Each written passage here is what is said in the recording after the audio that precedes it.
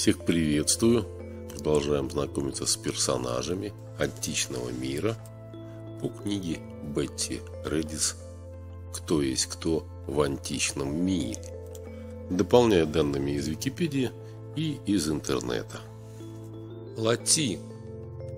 Латин, царь Латиума, Лация, названный по его имени, одного из государств Древней Италии по Гесиоду сын Одиссея и Кирки, а по Вергилию сын Фавна и нимфы Марики. Согласно версии, которой придерживаются Ливий и Вергилий, Латин сначала не позволял Энею и троянцам высаживаться в Италии, но уступил, когда Эней пообещал жениться на его дочери Лавинии.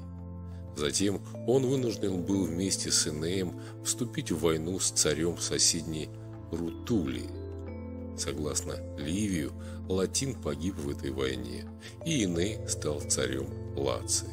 В Энеиде Латин остается в живых и вместе с Энеем празднует свадьбу.